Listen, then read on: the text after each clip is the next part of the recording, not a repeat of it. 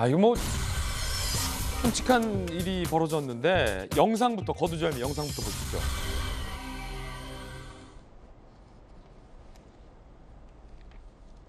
자 지난 9일 서울 은평구의 길거리에서 한 남성이 강아지와 함께 산책을 합니다.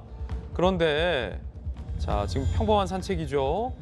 자, 갑자기 돌변합니다. 이렇게 목줄을 거세게 들어 올리는 남성. 강아지가 발버둥을 칩니다.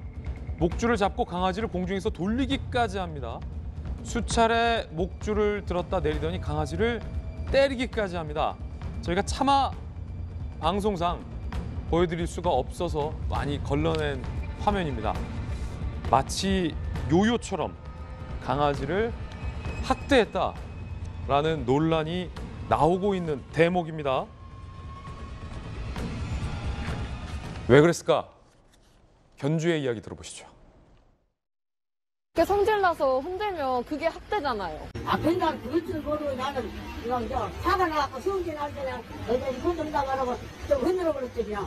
힘이 오라면 어떠시면 도망간다. 이런 식으로 흔들 때 그거는 정말 우리 밥 잘못했다고 정말로 생각해요. 정말로 다시는 이런 일이 없을 테니까 선처를 부탁드립니다. 그러니까 이게 세상이 변해서 이제 저런 것들도 논란이 이렇게 크게 될 것을 아마 예측 못하셨던 것 같은데 주변에 보는 시선이 많고 또 일단은 저 강아지가 너무 아- 불쌍하잖아요. 저러면. 어, 저럴 거면 왜 키우는지 모르겠습니다. 예. 이 세상에 숨쉬는 모든 것들은 다 소중합니다. 예. 존중받아야 마땅한 것이고 특히 이제 반려인구 천만 명이 넘어갔습니다. 거기에 걸맞는 어, 우리 반려동물을 대하는 그런 자세와 태도가 좀 아쉽다. 어, 저분이 이제 연세가 많으신 어르신 같은데 아마 이제 이전에 이제 동물을 대하는 그런 이제 관습, 관행 뭐 이런 것 때문에 이제 저는 어 이제 일을 저지른 것 같은데 에, 모든 숨쉬는 것들은 존중돼야 된다. 어, 이 말씀을 드리도록 하겠습니다. 예. 아, 이 멋진 말씀이에요.